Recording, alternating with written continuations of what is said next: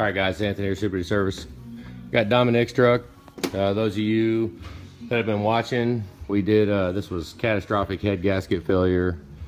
And uh, I showed on the video when we raised the cab up that they had a hotline ran to the fuel pump. And we went ahead and put it back to factory. And uh, I, I, I mentioned on the video, and I said it when we did the job, that we're probably going to have some diag coming up. I didn't even know if the truck was even going to start when we got the cab back on because of the wiring to the fuel pump that whoever owned it before him, you know, they had a circuit low code, which normally is a fuel pump, but this one is not. We got a new fuel pump in it now. Uh, yeah, I mean, it's got a freaking, I don't know. It's secondary circuit codes so what I'm gonna do right now, Monday morning, let's uh, kick it on and touch this.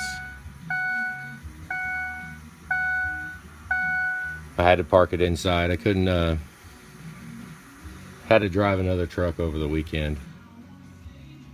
Let's see what we got. Hang on, let's let this boot up real quick and then we'll do a cold start on it, see what happens. I don't know, I mean, I, I guess it, it does go to just zero fuel pressure. So we've got fuel pressure on.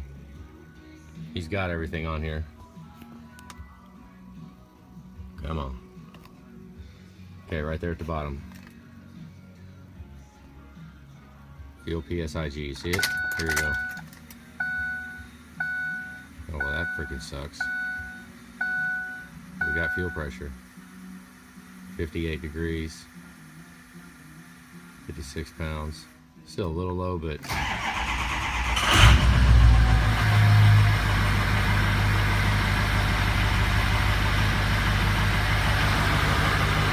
well, that freaking sucks. Hoping we could see it broken. Damn it.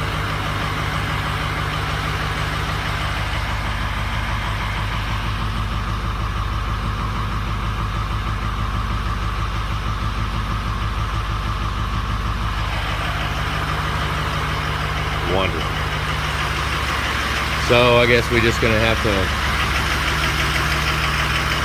I'm gonna pull it outside. We're gonna see what, uh, what a freaking drag. Was hoping we was gonna run some diag, get it to where it's broke and start chasing the wire backwards through the fuel inertia up to the battery box, up to everywhere. and what sucks is we can't really diag when it's running because it's working. A freaking drag. Alright guys, I thought I would just show that real quick. I'm gonna I guess uh, we'll drive it home and see about what it does when it's colder than 50 degrees. It's 58 degrees right now, so